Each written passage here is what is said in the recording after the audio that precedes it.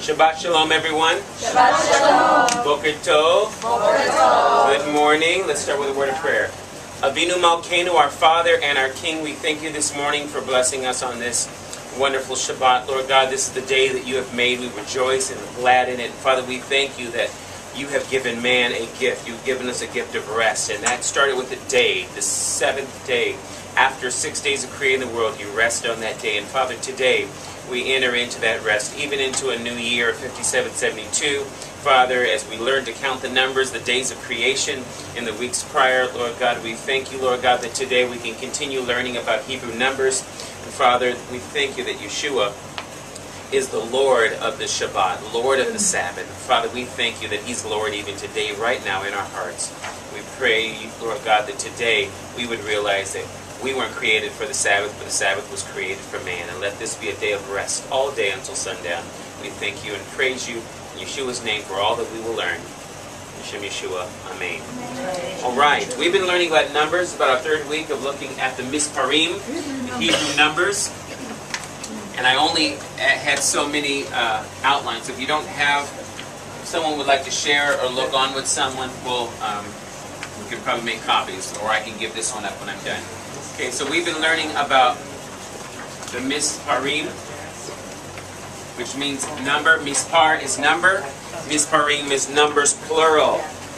And usually you have the, the im at the end of a masculine plural noun or ot at the end of uh, uh, feminine plural. Okay, and now I just have to say, if you unless you have a question, all talking has to be zero because everything picks up on the video. Okay, so please don't talk out of turn unless you're asking a question because everything's being recorded. Okay, so let's start with our numbers, um, our actually our alphabet. Um, for those that have the Hebrew booklet or those that are needing one, you can look on with someone and we'll just read what we call the Hebrewish. Okay? We'll read the alphabet one time through, just the 22 letters, and then we'll say our vowels one time through. Okay? Aleph, Bet, Gimel, Dalet, Hey, Vav, Zayin, Het, Tet, Yud, Kaf, Lamed, Mem, Nun, Samech, Ayin, Pei, Sadi, Kuf, Resh, Shin, Tav. Okay, our vowels are A, I, O, U. All right, remember we're not using American vowels. We're not using the A vowel or the E vowel, but we're saying the A vowel sounds like what? A. So E is what? E. I is I. we start again. A vowel is A. The uh, E vowel is E. The I vowel is E. The O vowel is O. And the U vowel is U. Not U, but U. Very good. I, A, E, O, U. All right. Now, we've been learning about the numbers, and on this hand that I've given you from HebrewForChristians.com, great resource for a lot of grammar. And we've been um, supplementing some of the work that I've given you and that I've created with uh, some of their resources. Okay. Um, one number we haven't learned is the number zero. We kind of started right with number one and went through ten, and then we worked from there. But the word for zero is ephes. Ephes. So in Hebrewish, it would look like this.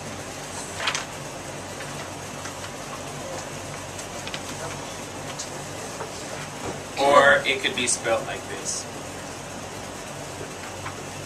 Okay? So here we have Aleph, we have the letter Pei, and we have a Samech. Okay. Okay. How do we read Hebrew? Which direction? Right to left. Right to left. Now, the first letter of the alphabet is what? Aleph. And what did the Greeks uh, change that letter into? Alpha. What's the second letter of Hebrew? Bet. What did the Greeks call it? Beta. So they just added an A at those letters. So the Greek tongue is based upon the Semitic tongue or Hebrew. Okay. So we have the first letter Aleph, um, um, and this letter is a silent letter until you see vowel points, which we usually call the dots and dashes underneath the letters. So what is the sound of the three dots that look like it's in a downward triangle? Three dots in a downward triangle. Eh, very good. It's an E vowel. Remember, we learned in our vowel system, I'll write it over here, the A, E, I, O, and U in English becomes A, E, E, O, and U. Okay? Now, the vowels look like this. Pretty much, A vowels look like lines. Okay? So these are three type of uh, vowel points that you'll see under a letter to make an ah sound. The S sound is usually multiple dots. And I'm putting them in order of length right now.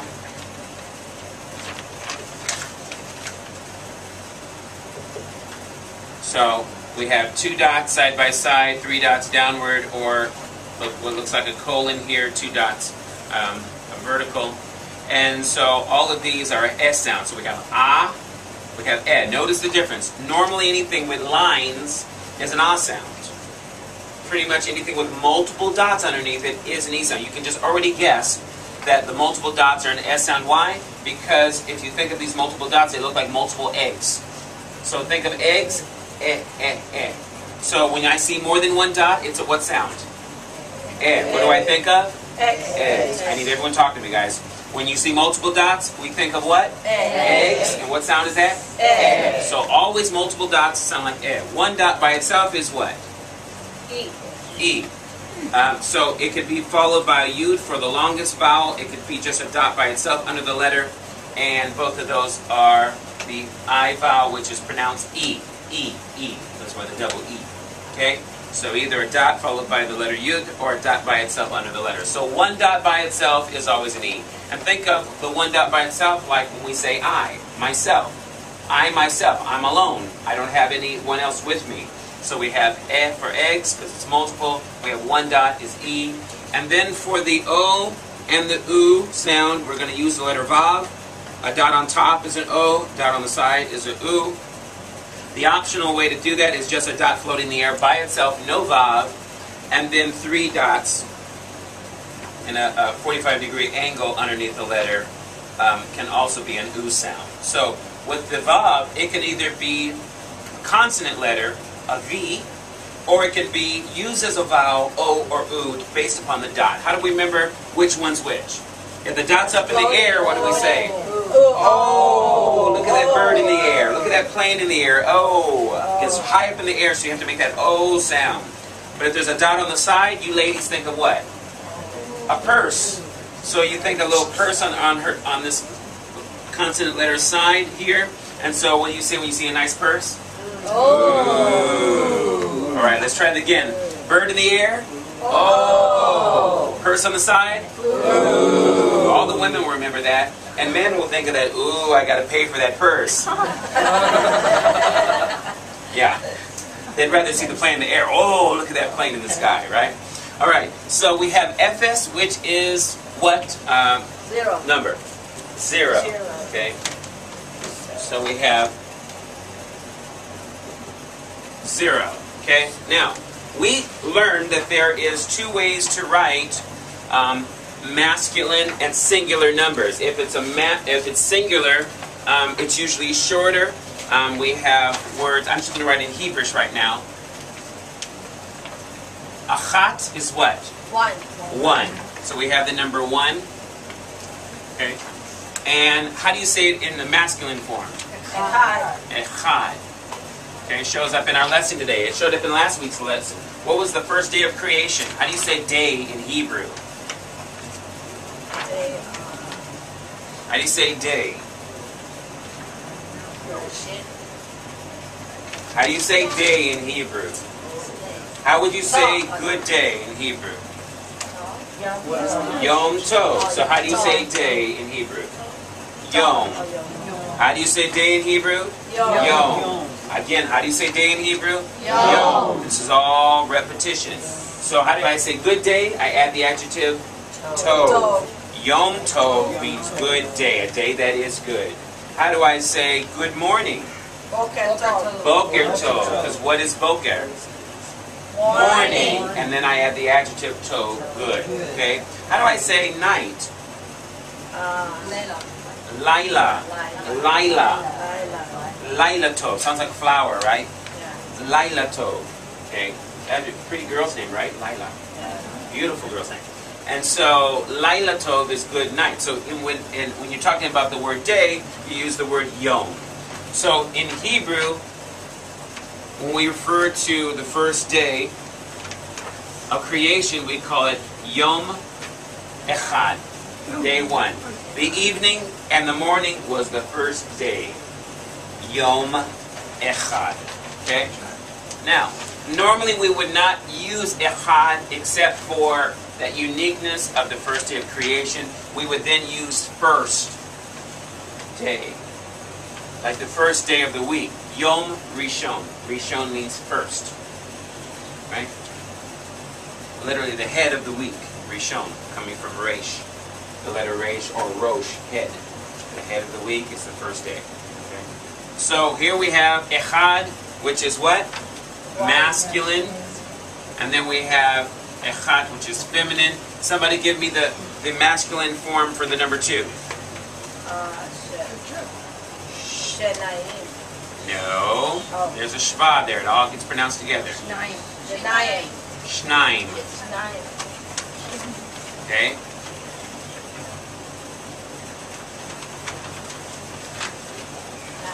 Shnaim. How do you say it in feminine? Time.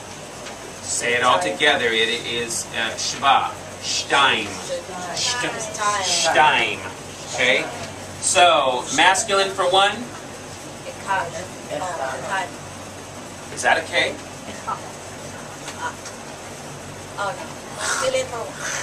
Echad. Echad. Echad. Okay, what's masculine for one? Echad. The back of the throat, you get a chutzpah sound there, right? Let's try it again. Masculine for one is echad. Not a K sound, echad. Okay? How do you say it in feminine? Actually, I have a typo and no one corrected me on that. It's achat. Someone should have caught that. Achat. Okay? So we have echad and achat. Masculine, feminine. Okay? How do you say masculine for two? Shenaim. Shnaim. Feminine?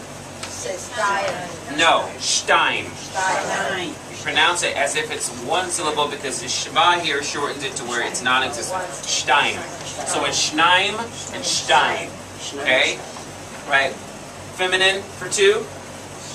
Stein. Stein. Stein. Shtaim. Sht. Shn.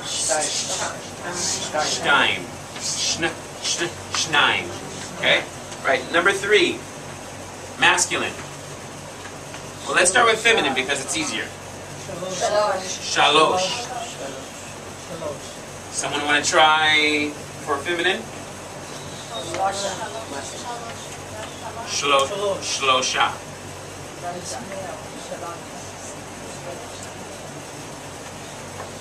Okay? Shlosha. Okay. Um, how about for the number four? Let's see, let's put our since it's numbers here. We have two.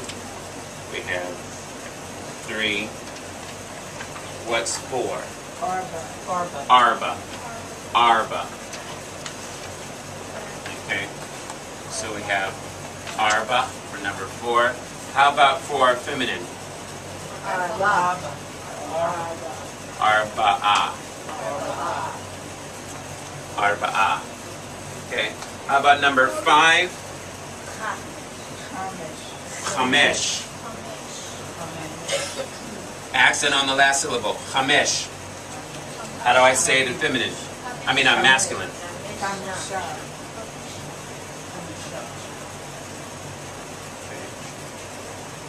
What is it now? Is it Hamesha or Hamisha? There's an I there, so it's not Ed sound. Hamisha, right? Isn't that what it is? Hamisha. Okay. How about number six? Okay, this one's really easier. Easy and feminine. Shesh. And how about in the masculine form? Shisha. Shesh and Shisha.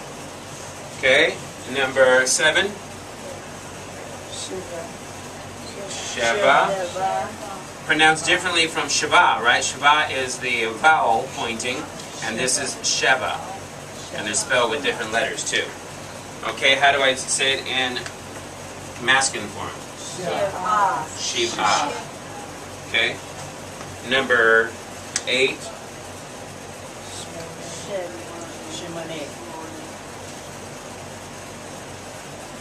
Okay. Which one do we, what do we have now? Shmone. How about for the masculine? Shmona. Okay. Number nine. Tesha. Tesha. Okay. How do we say it in masculine form? Tish. Ah. Okay, one more. Ten.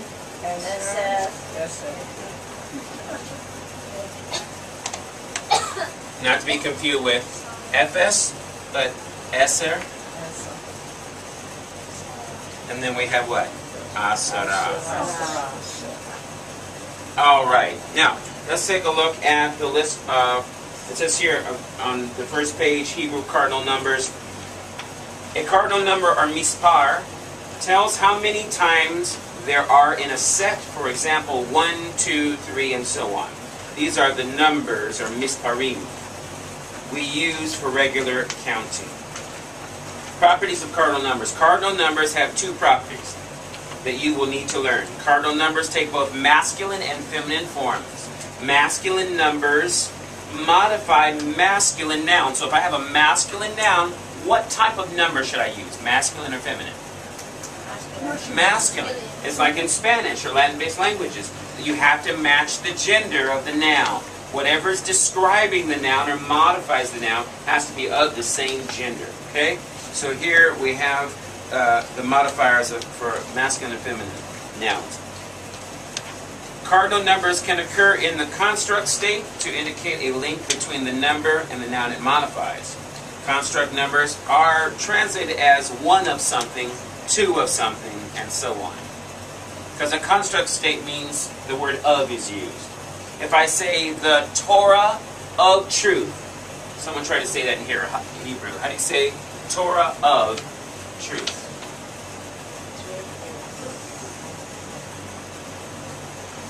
Torat Emet. We say it all the time in the blessings, right? He's given us the Torah of truth, right? Baruch atah Adonai Eloheinu melech haolam asher natan lanu Torat Emet. Right? Torat Emet. Torat is Torah of. It's in a construct state. It means you create a phrase, Torah of truth. Now, how would I say Torah of life? Torat Chaim. Torah of life. Okay? So you would just add the word at the end for the modifier. So the same thing here, it's one of something, two of something, and you fill in what the something is. Right? Uh, so then it, let's jump down where it says numbers 1 through 10 with feminine nouns. The following list, uh, the first 10 numbers, the cardinal numbers of the feminine gender. So I'm gonna, we're going to go through these numbers here. What is 0? ephes. What is 1? Achat. What is 2? Shtaim. What is 3? Shalosh. What is 4? Arba. What is 5? Hamesh. 6? Shesh. 7? Sheva. Uh, number 8? Shmone. Number 9? Tesha. Number 10? Eser. Eser. Okay? The numbers 1 through 10 with masculine nouns, the following lists the first 10 cardinal numbers for the masculine gender. 0, notice, is, doesn't change. It's 0. And what is 0 in masculine? It's still ephes, the same as in feminine. But when you get to number 1, it changes from achat back to the original echad that we know from Genesis, um, uh, the first day of creation. Number 2 on the next page is what? Shnaim. Okay? Um, so we went from Shnaim to Shnaim. Number 3, Shlosha. Number four, Arba'ah. Number five, Hamisha. Number six, Shisha. Oh, excuse me, Shisha. Number seven, Shiva. Number eight, Shmona. Number nine, Tisha. Tish. Tisha. Number ten, Asara. Okay. Now, the numbers 3 through 10 and gender. The numbers 3 use opposite gender endings than you would expect. Why? Because usually the extra ah sound at the end of a noun indicates that it is what gender? Like Sarah or Torah or Yalda. It's feminine, right? When God changed Sarai's name to Sarah, it he took it from masculine, meaning prince or leader in the house, to feminine gender, meaning that she is no longer my leader, Abram would say. Now, Abraham or Abraham would say Sarah, which would mean you're my princess. You're not my prince, you're feminized, you're princess. You're no longer playing the masculine role in the house. You are now submissive as the wife because I am no longer just exalted father, which I didn't fulfill that role. I am now father of many nations. And you have to be able to be in loving submission to me um, to be a father of many nations because you have to produce the children, Sarah. So I need you to kind of submit and not tell me to go sleep with Hagar, which that was a trap, right? Any woman tells a man go sleep with your friend or your maid, you know, that's a trap. And a man falls into that and says, oh, sure, I'll go ahead and sleep with her. I mean, no, that is a big mistake. He should have fought, no, honey, you're my wife. God promised I'm going to have a child through you. But instead, he went the male ego way of, oh, sure, I'll go ahead and sleep with her. And that was one of Abraham's problems, is that he didn't listen to the voice of God at that moment. Obviously, he repented because God still gave him that promised son, Yitzhak or Isaac. Okay? So, if we look at it, what it says here, in the masculine numbers 3 through 10, you notice the characteristic ah ending. But not so with the feminine numbers. Thus, masculine nouns are actually modified by numbers that appear feminine and conversely, feminine nouns are modified by numbers that appear masculine. So there's going to be a little bit of confusion going on in your mind because you're used to, to putting the ah with the ah. Right? Just the, like with the oat with the oat. If I say talmidim and I want to say good students, I say students by saying talmidim, which are disciples, right? If I want to say good disciples, what do I add? How do I say to? Uh, how do I say good in, in Hebrew? So, how do I make it masculine? What do I add at the end? Im, im, tovim. So I say, I say talmidim, tovim. Why? Because the adjective tov has to be not only masculine but plural. So you hear im at the end of a noun, you should have im at the end of an adjective. Okay? So how do I say, how do I say female students or disciples? Not Talmidim, but Talmi. That's only one. Talmidah is one female student. How do I say female students? Talmidot. We add ot at the end. O-T. So um, we would say Talmidot Tovot instead of Talmidim Tovim. Okay? In Hebrew, everything is connected, unified, and attached. You see the concepts in the noun, you see the same concept, concept in the adjective, so that when you're reading Hebrew, your brain can quickly pick up, oh, we're talking about a male, we're talking about a female. Or we're talking about a masculine gendered noun or a feminine gendered noun. Now, why are nouns called masculine or feminine? Does anybody remember what the masculine refers to in a noun? Versus the feminine, like the Torah being feminine. It means we Receive. receive the Torah because it's something to be received. The woman is the receiver, the man is the giver. The, the woman is the receptive uh, person in the relationship. The man is the active person, or he should be the active person in the relationship. God is called He. Why? Not because he has masculine uh, uh, body parts, not because he's a man like you, uh, like uh, most of the men here today. God is not a man that he should lie. God is a spirit, and those that worship God in spirit and truth. Why do we call him He? Is it referred to masculine gender or genitalia? No, not at all. God is a spirit. When we refer to him as He, we refer to him as the active creator in the universe. It's not a male and female thing, so it's really incorrect to call God a she because it's not referring to gender. It's referring to who is in control. He. How many know the man should be the head of the house? And when the man's not the head, what happens to the woman? She naturally takes the active role. She doesn't want to, she's forced to. She has to take care of her kids and her family. So men have to stop being passive. They need to be more active and aggressive to bring home, I won't say the bacon, but bring home the kosher chicken and bring home the money and bring home the resources. Man has to provide for his household and be the priest of his home.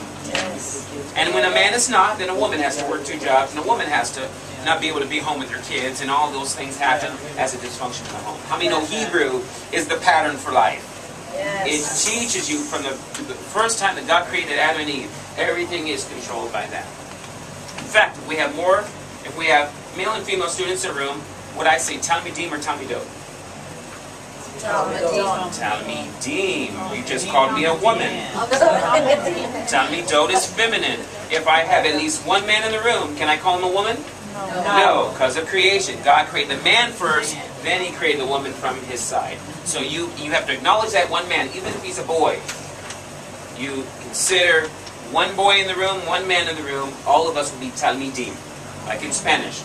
We say muchachos, estudiantes, well, estudiantes doesn't work, but because it's just masculine and feminine for that. But if I say muchachos, it could refer to women in the room. But if I have no boys in the room, I say muchachas, girls. It's the same ah. thing with Hebrew. One man in the room, you can't call him a woman. Maybe our politics should learn that, right? Men shouldn't be women.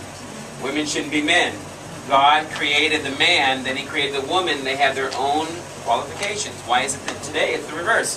Men want to be women, women want to be men, or men want to treat women like they're a man, and men, men want to, uh, uh, women want to treat their men like they're women. It shouldn't be this way, right? Because everything goes back to Hebrew. Everything goes back to the Bible. Everything goes back to Genesis. And that's how we pattern our life. It's a book of beginnings. Everything starts with Genesis, right? Okay, so let's take a look at some combinations here. Let's take a look down at the bottom of the page. Number one. The number one follows the noun and agrees in gender, number, and definiteness. With the noun, it modifies. So if I say one daughter, what will I say? How do I say daughter in Hebrew? B-A-T is what? Bat. Bat, like a bat mitzvah, is a coming of age for a girl. What's a um, a coming of age for a boy? Bar mitzvah. A bar mitzvah. So we use the Aramaic word for son, bar, because he grew up in a time where Aramaic was the controlling language of the Jewish people, or the common language of the Jewish people, um, in conversation and family usage. So we use bar mitzvah. But the Hebrew word for son is what? B-E-N is ben. So ben echad versus bat achat. So it even sounds perfect, right? So we have bat achat versus ben echad. Look at at at. Bat achat and ben echad. How about one of the daughters in a construct state? Um, we have achat habanot. And that's because to say girls, you take the masculine word ben and you add the ot ending. You take son and you add ot. You don't take bat because then we would have batot, and that just doesn't connect with the word, the concept of a daughter. So we want banot for for girl for daughters. So achat banot. Now, because we're saying one of the daughters, we're not saying we're not using plural because we're only using the number one. So there's no plural. So one of the daughters is achat banot, and one of the sons is achad habanim. Excuse me, achat habanot and achad habanim. How about numbers 2 through 10? Let's take a look at example. Your page got a little bit cut off. Let's just look at number 3. How do I say three sons? I will start with what? Shlosha, because this is masculine, but I'm going to take banim, which is plural. So that's what throws you a little bit. We're going to have shlosha, which is masculine, and we're going to have the masculine form for sons, banim. So it looks funny, right? Because I would expect that this ah ending sounds like it's a feminine ending, but remember, numbers in masculine look feminine. It's just the way it is. It's just something you learn. Only with the number system will you find this. So we have Shlosha, Shlosha Banim. We have three sons. That's just something you have to memorize. You have to memorize that masculine nouns have an ah ending on numbers 3 through 10. Okay? Um, let's see, let's look at one more. How would I do seven sons here? Shiva. And then we're going to have again Banim. Okay? So I'm going to throw one out at you. Five sons. Five sons. Uh, Arba. Five sons. Hamisha. Hamisha. Banim. Very good. Right? Um, how about five daughters? Hamesh. Hamesh. Um, Hamesh. Banot. Five daughters. Remember, Banot is is the uh, daughters. Okay. Um, how about one daughter? Achat. One daughter, not daughters. One daughter. Achat. Oh. Bat. Achat. Or excuse me, you have to reverse it. You have to say bat achat. Bat achat. You put the when it's plural, you put the number at the end, but um, or put the number in the front. But here we have we have to say daughter one. Okay, bat achat. Okay, all right. Um, one more. Um, four sons. Four sons. Very good. Okay, three sons. Very good. Um, three daughters. Shalosh. Banim. Ano. Banot. Very good. Tomiot. All right, guys. I think you've, you've mastered it. All right. What I want you to do for next week, it's turn in some homework. I want you to try to create a sentence in a Hebrew. You're going to turn it in with your name and date on it. Whatever you want. I want numbers in it. So if you want to say, um, if you want to say, three boys are studying Hebrew or four girls, why don't you just use studying or learning Hebrew? So what, what's the verb for learning Hebrew? Um, I would say for masculine singular, lomed. I would say masculine plural, lomdim, right? For feminine, I would say lomedet. And for feminine plural, I would say lomdot. Okay? So it's either going to be one of these you're going to use for next week. You're going to use the verb lomed or lomdim or lomedet. And you can look this up online too and find this. Um, lom dot. So masculine singular, masculine plural, feminine singular, So obviously you're going to have to to um, take a sentence like this. We would say what? Shlosha banim lomdim ivrit. Perfect example. See, I said three boys are learning Hebrew. Hebrew is what? Ivrit. So I want you to practice that, but you pick the number for next week, and you tell me if it's ben or bat, and you tell me if it's banim or banot, and you put the appropriate masculine or feminine number to it. Okay? So I use the example uh, shlosha banim lomdim ivrit. That's a perfect sentence. Three sons are learning Hebrew. Okay, so try that for next week. Obviously, the new students attempt it, but I'm not expecting you to master it yet because you're brand new to the class. Okay, let's close in prayer. Avinu Malkeinu, our Father and our King, we pray, Lord God, that we would master the Hebrew language, Lashon Hakodesh, the holy tongue. Zephaniah 3:9 tells us that you will restore a pure language back to your people. That was the language of Hebrew from Adam to Noah, from Noah to Abram, and Abram became Abraham, and from Abraham to Yeshua, we have the Hebrew language, and from Yeshua to his disciples, as his disciples became apostles, and we have become disciples of those apostolic teachings. We pray, Lord God, that we would come into this language that the apostles used to preach the gospel to the Jew, and Father, be able to spread this language to the whole world, not only to Israel, but to the nations, as we study Torah and walk in the footsteps of our Messiah. In Yeshua's name we pray. Amen. God bless you. Shabbat Shalom. Shabbat Shalom.